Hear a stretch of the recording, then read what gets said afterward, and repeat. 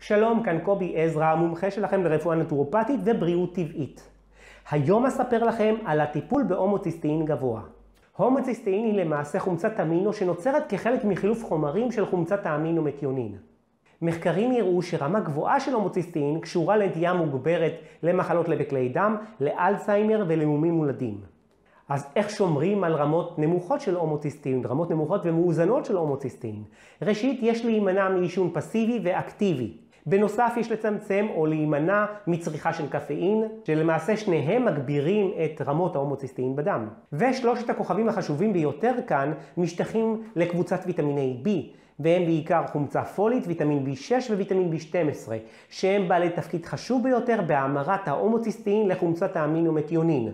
ולרוב המינונים המומלצים הם חומצה פולית במינון של 400 עד 1200 מיקרוגרם, פרידוקסין שזה ויטמין B6 בטווח של 50 עד 100 מיליגרם, וויטמין B12 בטווח של 500 עד 1000 מיקרוגרם ליום. יש לציין שבקרב אנשים קשישים ויטמין B6 עשוי שלא להיות מומר לצורתו הפעילה פרידוקסין 5-פוספט ל-P5P, לקו-פקטור הפעיל של הוויטמין. ולכן במצבים הנ"ל ישנו הצורך בהשלמה ישירות עם הקו-פקטור הנ"ל. וכמובן אם יש לכם שאלות אתם מוזמנים לשאול אותי כאן בתגובות למטה בשמחה.